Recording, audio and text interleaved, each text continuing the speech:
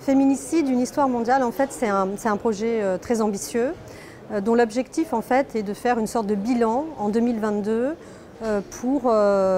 regarder un peu partout dans le monde et depuis très longtemps, parce qu'il y a une très grande densité chronologique dans le livre, on commence à la préhistoire, on va jusqu'à aujourd'hui.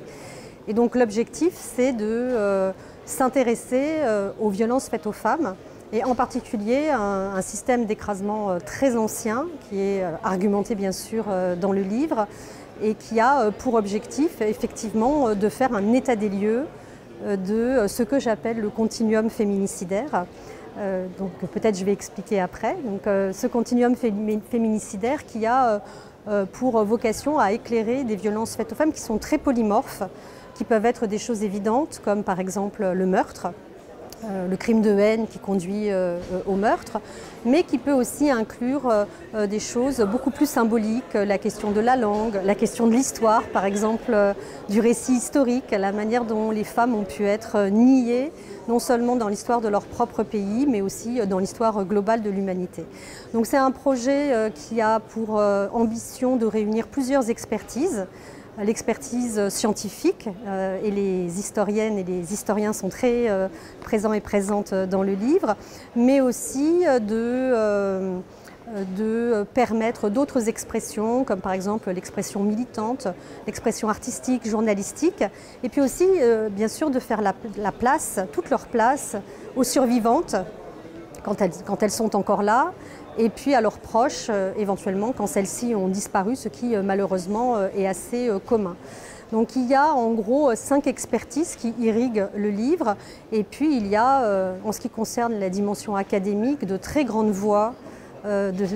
internationales de ces questions. Alors je ne peux pas toutes les citer, mais disons par exemple Silvia Federici, Rosalinda Fregoso, Dananda Largesh, Aminata Traoré, Rita Laura Segato,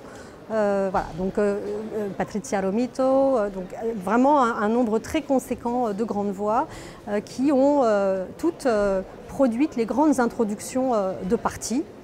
il y a cette partie dans le livre et qui, comme ça, structure une thématique qui est très importante. Et donc il y a sept thématiques dans le livre. La première est consacrée aux chasses aux sorcières comme féminicide la deuxième comme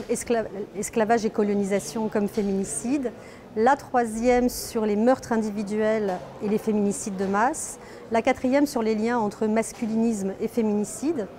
la cinquième sur les féminicides au sein euh, des génocides, la sixième qui touche en fait toutes les normes de beauté et qui va jusqu'aux annihilations identitaires, et enfin la septième qui, traite de la question de la disparition euh, possible des filles avec les féticides de masse, mais aussi euh, la marchandisation, la chosification euh, des femmes tout au long de l'histoire. Alors en fait, il faut remonter aux années 70 pour comprendre en fait que tout ça se place dans une généalogie intellectuelle et politique.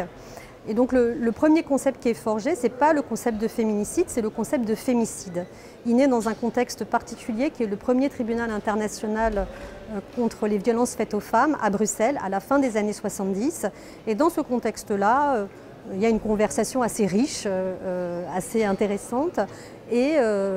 une grande chercheuse et militante féministe qui se trouve être Diana Russell va forger le concept de fémicide pour exemplifier,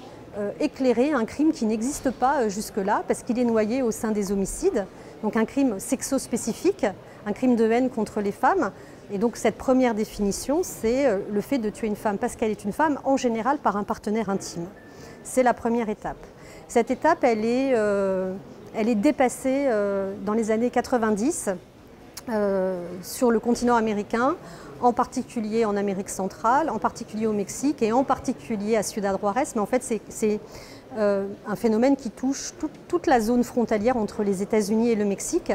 où on commence à exhumer des corps de femmes. Euh, qui ont été euh, tuées et surtuées parce qu'elles euh, sont souvent soumises avant la mort à des violences sexuelles, elles peuvent être mutilées sexuellement, elles peuvent être démembrées, etc. Bon, on retrouve de plus en plus de corps, des dizaines, des centaines, puis des milliers, sans parler des disparus. Et face à cette situation invraisemblable, un nouveau concept va être forgé par une autre grande voix du monde académique et du monde politique, Marcela Lagarde de los Rios, qui est une très très grande femme politique et chercheuse mexicaine,